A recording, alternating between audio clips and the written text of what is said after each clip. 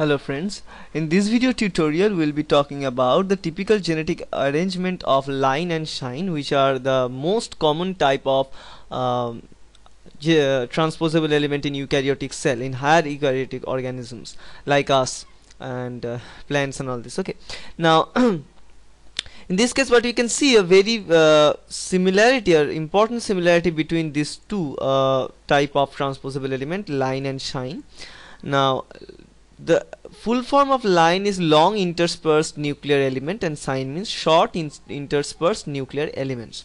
Now as the name suggests lines are a little bit uh, longer than shines but lines are uh, having uh, uh, but, but there is a basic level of construction of their genetic arrangement and that is in in uh, their transposable element so the first thing about uh, the similarity between both of them are their transposable element. That means they have the ability to move uh, from uh, their genetic position to another position.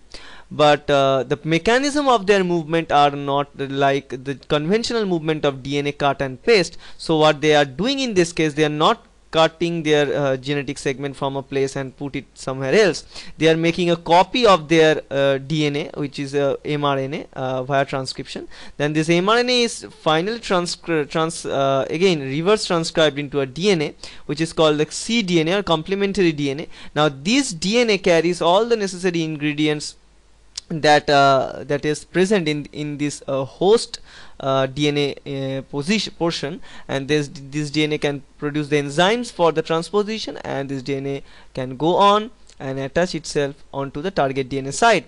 Now for this purpose this type of transposition requires several rounds of the process. First round is the transcription event. Second round is the translation event. Remember translation is also important because except for the translation uh, the mRNA uh, cannot code for the important proteins because they need those proteins and without those proteins transposition cannot be possible.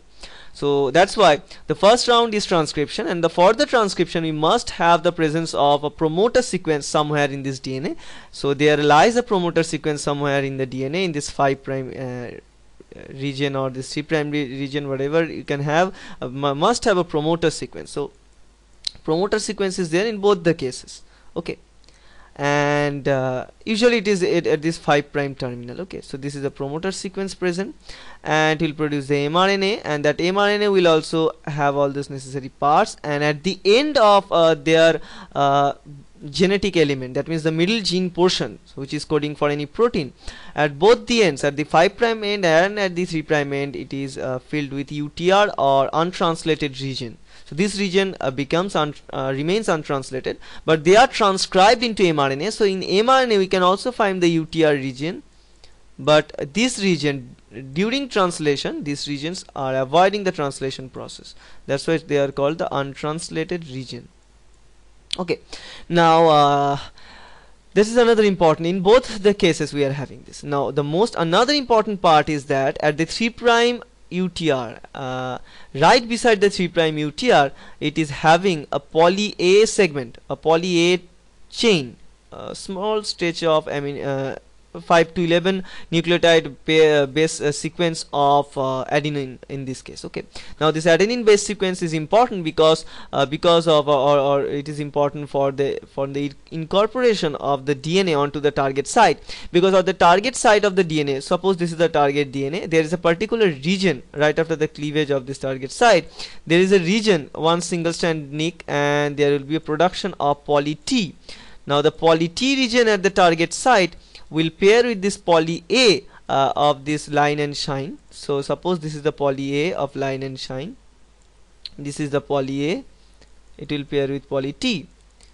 And the mRNA is paired with this uh, DNA segment. Okay. And then uh, it will utilize the reverse transcriptase enzyme which is coded uh, by this gene and it will start producing the DNA segment. So this black color is the DNA and then this red strand is chewed up and it is re it's substituted by a DNA strand. That's how the DNA copy is being made uh, during the transposition of this line and sine elements. You, if you don't know this, go back. There is a video in my channel. You can find the transposition event of line and shines too. Okay, but there is a difference between the line and sine only in the middle region or what we called uh, this uh, coding region. Now this coding region consists of several uh, genes which code for some proteins which are necessary for the transposition.